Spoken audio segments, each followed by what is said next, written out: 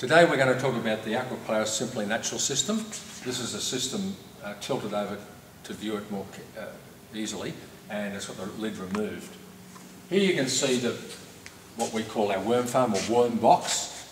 Down inside there are the red trays where the worms live.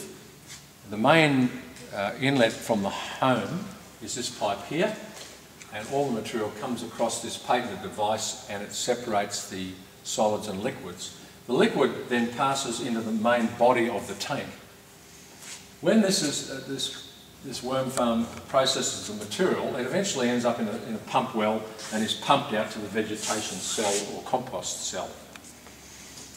The other material is circulated by means of this pump and this circular uh, pipe work here through two cartridge trickle bed biomasses um, which break down the compounds. Eventually, the water in the main body of the tank is cleaned and it is pumped out through this, this pump here into uh, underground trenching or dripper feeds.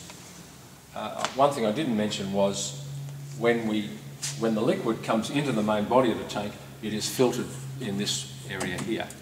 So we, we take a hair and lint out in that, in that department and, uh, and it can be removed on servicing through the main lid of the unit. Thank you very much. And remember, Aqua Clarus is all about sustainable products.